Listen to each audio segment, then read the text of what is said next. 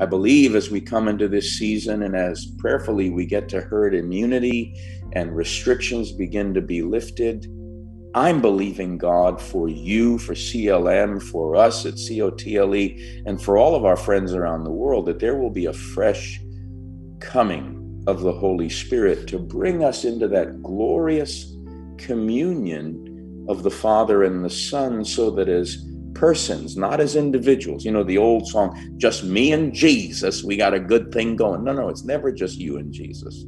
It's never what what's what's in it for you. It's what's in it for us as the family of God.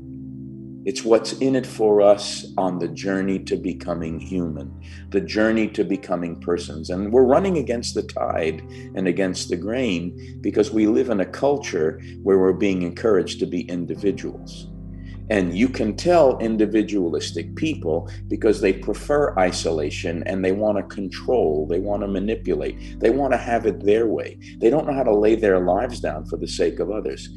And beloved, I'm persuaded that as we move forward, God is sifting people in all sorts of ways in this shadow pandemic to expose false motives and to expose ways in which people try to control and to expose ways in which people want to have it their way because they prefer to be individuals than become persons.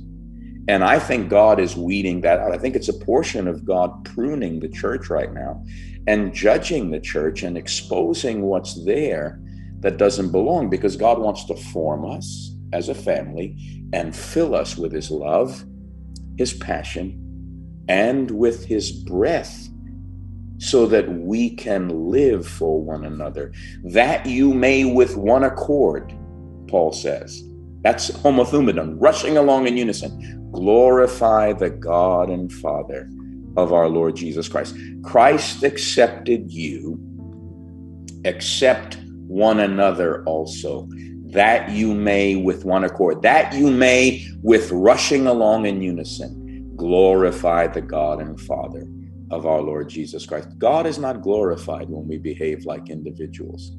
Pentecost came to deliver us from individualism and to fill us with a spirit of communion and community so that together we can embody Christ Himself, incarnating Christ, so that for us it's Orlando, for you it's Vancouver, but it doesn't stop there. That's your Jerusalem. Orlando is my Jerusalem.